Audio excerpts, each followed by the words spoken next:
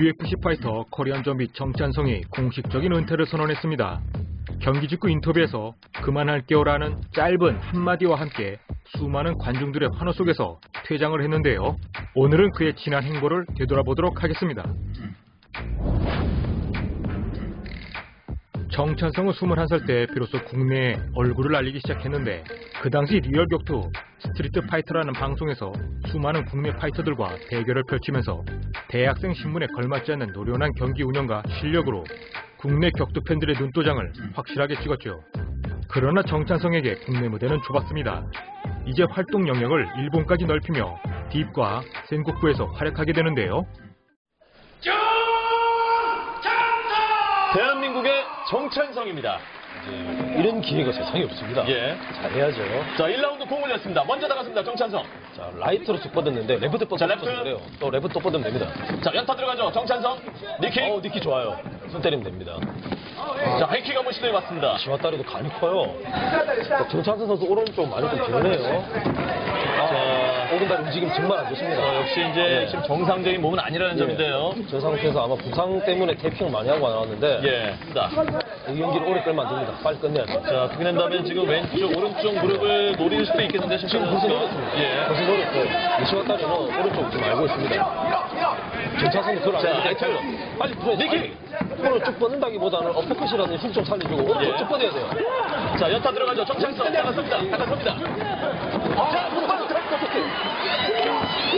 여기서 조금씩 나가지 말고 뻗어내야 돼요. 예. 잘하는 게 낫죠. 그렇군요. pounding. 아, 좋아요. 이런 자, 거 좋아요. 레프트 계속 pounding 들어갑니다. 이 목표는 그냥 자, 맞게 정찬성. 자, 빠져나오지 못하겠는데, 다시 일어납니다. 자, knee kick 들어가죠. 오른쪽 몰아놨습니다. 정찬성, 여기서 왼손을 좀더 훅이랑 어퍼컷으로 날려줘야 돼요. high kick 신타로. 일본 선수들 저 high kick 무릎이 접히면서 오기 때문에. 어, 좋아요. 입니다. 이제 이게 흔히 말하는 정찬성의 좀비 스타일입니다. 예. 나서서 들어옵니다. 오른, 오른발을 돌는데요. 자, 여유를 보이는데 신타로. 여기로 보여주면 여유있게 자기 안 되죠. 예. 한대 때리면 자, 라이트. 자, 무릎 쪽을 역시 노리고 있군요. 네, 무릎을 노리고 있어요. 예. knee kick 시도. 이 니키가, 이 니키가 나쁘지 않았어요. 자, 그렇지만 계속 나갔습니다. 정찬성. 쫓아도 이제 1분도 안 남았습니다. 4분 동안 안 쉬고 계속해서 치고받았죠. 이번 것은 이마에 들어가기 때문에 없고. 라이트. 자, 오늘 시도 나갔습니다. 정찬성. 수 있습니다. 자, 다시 일어나는데요. 아, 여기서는 그 초크까지 연기는 좀 힘든데요. 예. 아, 여기 될 수도 있어요, 이렇게 되면. 그렇군요. 자, 올렸죠. 됐습니다. 됐습니다. 걸렸군요. 걸렸군요. 90분 들어왔습니다. 기절한 직전입니다. 기절한 자, 직전입니다. 기절합니다. 이렇게 하면 기절 많이 자, 30초 정도 남았는데. 아, 자, 끝났습니다. 끝났습니다. 거기 끝납니다. 정찬성. 아, 정찬성 선수. 자, 정찬성의 승리입니다. 정찬성은 일본에서 총 5번의 경기를 치렀고 4번의 승리 중 2번을 submission으로 잡아내는 등 입식뿐만 아니라 서서히 MMA 기술력까지 완성해 나가기 시작했습니다. 하루가 다르게 일취월장한 정찬성은 드디어 일본을 거쳐 2010년 미국 WEC에 진출하게 됩니다. 그곳에서 공포영화에 등장하는 좀비처럼 끈질기게 상대를 압박하는 투혼으로 코리안 좀비라는 별명까지 생기면서 엄청난 인기를 얻게 되죠. 그리고 WEC가 UFC에 흡수되면서 정찬성은 레너드 가르시아와의 2차전에서 UFC 역사상 최초로 twister라는 고난이도 기술로 승리를 따내고 이후 마크 호미닉을 경기 시작 7초 만에 UFC 역사상 두 번째로 최단 시간 KO시키면서 파란을 일으킵니다.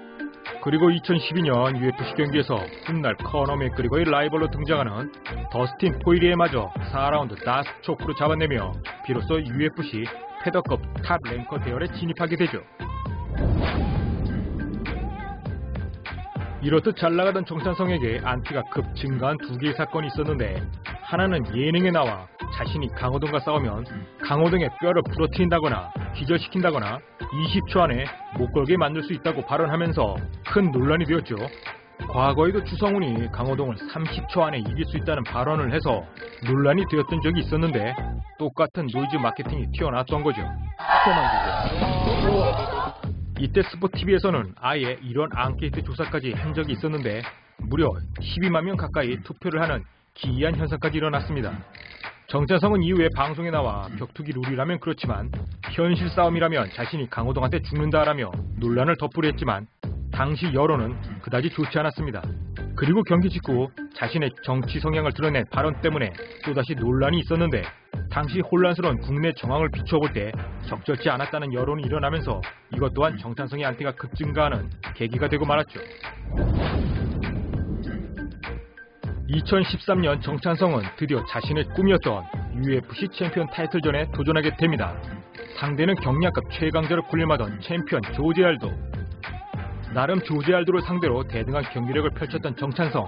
그러나 4라운드 갑작스럽게 어깨 관절이 탈구되면서 아쉽게도 첫 번째 타이틀 도전에서 쓰디쓴 고배를 맛보게 되죠. 정찬성은 첫 번째 타이틀전 패배 후 9년이 흐른 2022년 다시 한번 천금 같은 타이틀 도전권을 얻게 됩니다.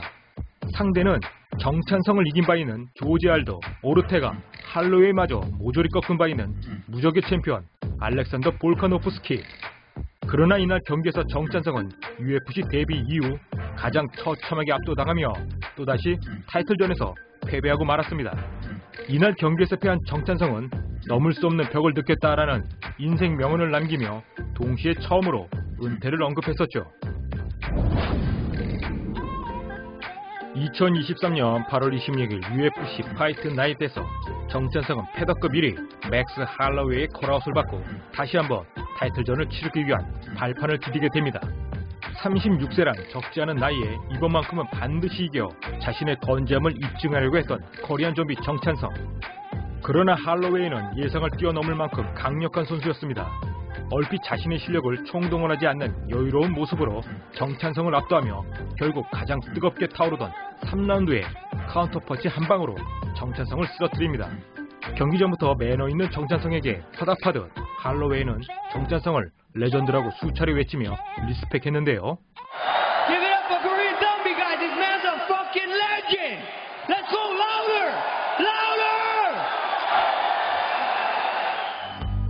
반면 정찬성은 이날 그동안 마음속에 묻어놨던 은퇴를 선언하면서 참고 있던 눈물을 흘리고 말았습니다. 어, 그만할게요. 음, 저는 챔피언이 목표인 사람입니다. 챔피언이 되기 위해서 하는데 위에 top ranker들을 이기지 못하는 건 제가 냉정하게 이제 그만할 때가 되지 않았나 생각합니다. 정찬성은 강했습니다. UFC 데뷔 이후 수많은 강자들과 싸우며 승리하던 패배하던 이렇듯 오랜 세월 UFC top ranker를 유지했던 한국인 파이터는 없었습니다. 더러는 욕도 먹고 더러는 피눈물을 흘리며 그는 그렇게 싸워왔습니다. 비록 그의 꿈이었던 UFC 챔피언 타이틀은 차지하지 못했지만 한국인 최초로 두 번의 타이틀 도전에 성공했고 영원토록 코리안 좀비 정찬성으로 기억될 것입니다. 그리고 이렇게 정찬성의 라스트 댄스는 마무리가 됩니다. 그동안 수고하셨습니다. 그럼 아디오스!